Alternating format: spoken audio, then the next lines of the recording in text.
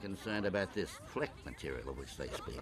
It could be a weapon. It could be a new shield or armor. Having examined them, Your Majesty, they do show signs of the trials that they described. It beggars belief to think that these brave owlets would fly oh. here by themselves to spin a fairy tale. Does my Lord Allomere feel otherwise? Oh, good clocks.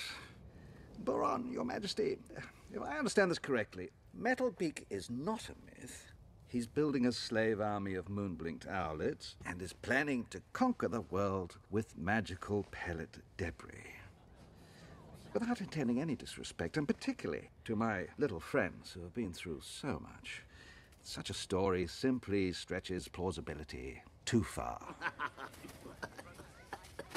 Does that notion strike Ezylryb as amusing? What cheek! What's amusing to me is that you would cover yourself by besmirching these flyers. Perhaps my good fellow Ezylryb wishes us to race back to war. No, no. Perhaps he'd write a nice poem about it from his hollow, while the rest of us, well, while the rest of us had our talents to form too. Mhm. But I say caution, when the losses could be so many. I would never counsel rushing blindly into war, but for a cause such as the one the boy described, for a violation of the peace so blatant, so powerful, of course I'd fight. What other course to take?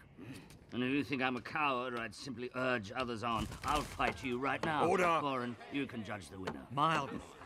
We're trying to seek the truth. The truth? I told you the truth. The pure ones exist. They've kidnapped me and dozens of owlets from our hollows. They want to enslave us all and rule our world without pity. Yes, the only proof I have are my words.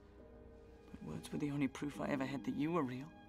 Well, still, I believed. And you would argue with that?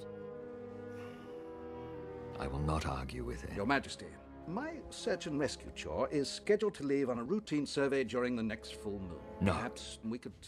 You shall leave immediately. Take your best owls with you, Allomere, and be thorough.